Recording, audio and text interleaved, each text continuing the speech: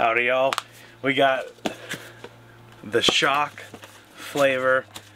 I'm just gonna go out there and say that congratulations Shock.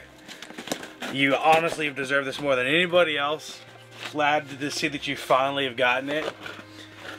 And I'm glad that I got it finally in my hands. Been dying to try this flavor for a while. So here it is, the beautiful Shock Mango Lemonade. On the bottom it says, what's going on ladies and gentlemen, what he always says in his stream. And uh, let's open it up real quick, see if I'm one of the lucky ones I got something signed. Um, so we have the Shock Doodle. We have the Shock V2 Shaker. Looks absolutely amazing. Have the beautiful tub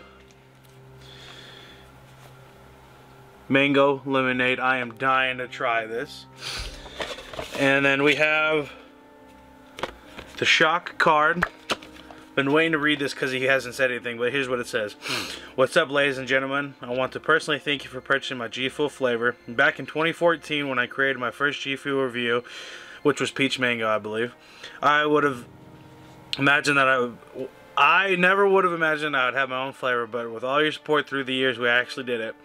When G Fuel and I first began working on Shock Flavor back in 2020, I decided that I wanted this flavor to not only be my personal favorite, but to also be the best flavor I could honestly recommend to anyone.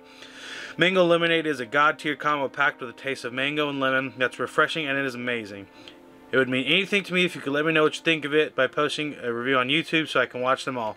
And that's what we're doing, Reid. So here it is.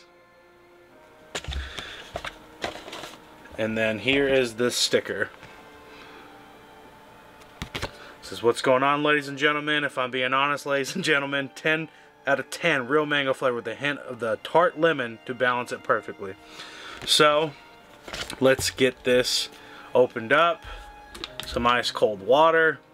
My new favorite way to mix G Fuel was with the BlendJet. This thing makes it so much easier. So let me get this mixed up real quick and be right back. Alright, so I just got this cracked open. And right off rip, it does smell just like a real mango but I haven't got to try it yet. It kind of smells just like the mango that's in peach mango. But here we go. Let this blend up real quick. Alright, so here we go. First, smell smells like real mango. Well, here you go. Finally. Congratulations, Shock.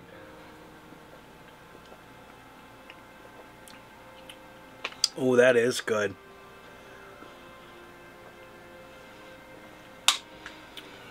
It does taste like you just bit into a real mango. I'm not really getting any of the, um, the lemonade coming through. But it's like, not like a fake mango flavor, artificial mango. That's really good. He was spot on when he said it'd make an all-around good flavor he could recommend to anybody. Because honestly, anybody could like this. But congratulations, Shock.